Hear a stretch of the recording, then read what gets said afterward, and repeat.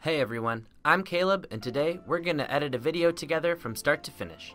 I'll explain what I'm doing as I edit, but if there's a part of the video that you want to learn more about, then you can visit one of our tutorials about that subject. In this video, you'll see an overview of Filmora 9's basic editing workflow by importing media, doing a basic edit, and exporting our finished video. Here's an example of what we're going to create inside of Filmora 9.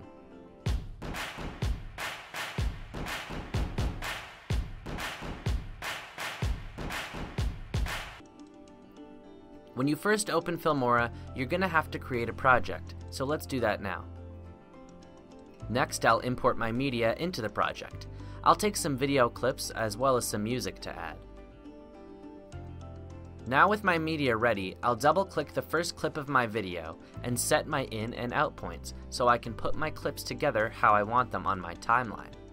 I set the in point by clicking this button here, and the out by clicking this one. This way, the only part of the clip that is ready to go to the timeline will be highlighted here. Then I can drag that down to my timeline from the media library. I'll do the same with the other clip now.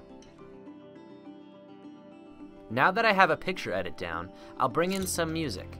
Music lives on a separate track than the video clips, and will always be placed below video tracks. An easy way to tell is by looking for the quarter note symbol to find an audio track to place your music on. Now that I'm happy with my video, I'm going to go ahead and export it. I'm going to leave it as MP4 for my format, because that should work on Mac, Windows, and run pretty smoothly. Same for the encoder, I'm going to leave it at H.264. I'm going to export with 1920 by 1080 resolution. I'll choose 30 FPS as a frame rate, since phones usually shoot at 30 FPS. FPS stands for frames per second. I'll leave my audio settings just how they are here, because this default works for us. Now, I'm going to wait for my video to finish rendering and then make sure to watch over the entire thing before you show anyone the video or upload it online. Don't ever miss that step or you could miss something that didn't export properly in your video.